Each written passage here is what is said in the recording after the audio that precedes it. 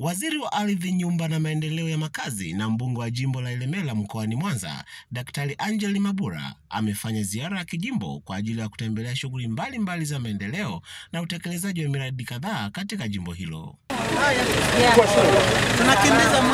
Kiongozi huyo amefanya ukaguzi wa kina wa miradi ukiwemo mradi wa ujenzi wa bweni la wasichana katika shule ya sekondari Gogwa iliyopo kata ya Bugogwa, halmashauri ya manispaa ya Ilemela. Hii ni News Update, nami ni Joseph Isaac. na kinakuja hela zinakuja hapa kwa sababu pia usimamizi ni mzuri, na mmekuwa wote ni mashahidi. Kila miradi inayokuja mkoa wa Mwanza, Ilemela ni namba moja kwa kumaliza na kwa miradi yenye viwango.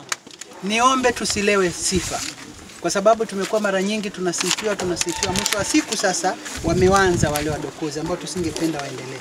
Kwa nachosema tu ni kwamba pale ambapo Mheshimiwa Rais analeta pesa na nguvu ya wananchi inaongeza, kikubwa ni kuhakikisha tunasimamia ile miradi inaisha kwa wakati na tunasimamia kutokuwa na udokozi, kwa sababu ukidokoa haumuibii Mheshimiwa Rais wala humwibii mbunge, humuibii diwani, bali mnajihujumu nyinyi wenyewe.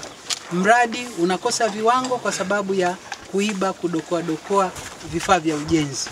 Sasa hao ambao walifanya hayo kipindi cha nyuma wasipate fursa tena nyingine ya kufanya kazi yoyote katika masuala mazima ya shughuli za maendeleo, lakini pia uongozi usiwe unawaacha huru wale watu, lazima washughulikiwe ili wengine waogope, kwa sababu hizi ni hujuma ambazo zinafanyika unapodokoa rasilimali ambayo imeletwa kwa ajili ya kukamilisha miradi alafu mwingine anakuja anadokoa, maanake unafifisha hata ile nguvu ya Mheshimiwa Rais kutaka ku, kuwasaidia.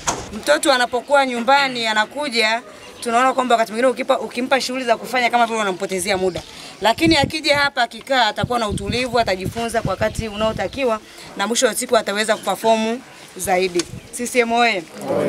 Sisi watu wa Igogwe tulikuwa na shida sana ya shule. Ukiangalia jiografia ya huku, mheshimiwa, ukitoka hapa kuna kuna mtaa mmoja unaingia wilaya ya Magu. Sasa watoto walikuwa wanatoka hapa kwenda kusoma Bugogwa, ilikuwa ni mbali sana. Kwa hiyo tunafurahi sana, tunakushukuru sana. Tatizo la hapa, mheshimiwa waziri, ni maeneo ambayo tumepima sisi, tuliona tuchukue eneo kubwa, tuchukue eneo kubwa sana, ambayo shida inayokuja hapa ni fidia hiyo. E, tunaomba sasa utusaidie jinsi ya kutaka tufidie ili eneo liwe huru, kwa sababu hizi milioni mia nne zinavyokuja sehemu ya kujenga, tutategemea tujenge tena hosteli ya wanaume. Shule yetu tulikuwa hatuna shule hapa, lakini pia kwa, jitihada zako na mheshimiwa diwani tumeweza kupata, lakini sio hivyo tu, wananchi pia nao baada ya kuwauliza kwamba mnahitaji shule walikuwa tayari kushirikiana wewe kwa ule utatu ambao unakwenda nao. Tumejitahidi kuleta miundombinu yote, lakini sisi tumejitahidi kuchangia 10% ya maendeleo. Kwa hiyo tunashukuru kwamba tuko pamoja. Eh, umechukua hatua gani? Tayari hatua imeshachukua, Ipi?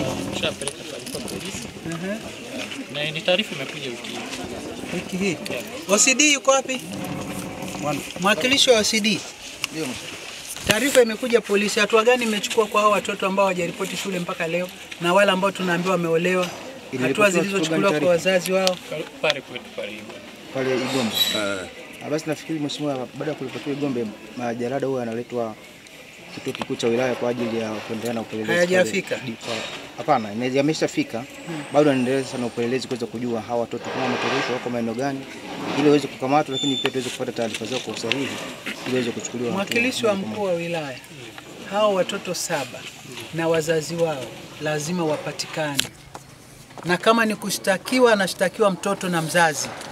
Haiwezekani Mheshimiwa Rais anatoa pesa ya kutosha kabisa kuweka miundombinu milioni 516 kwa kata moja, shule moja, sio haba.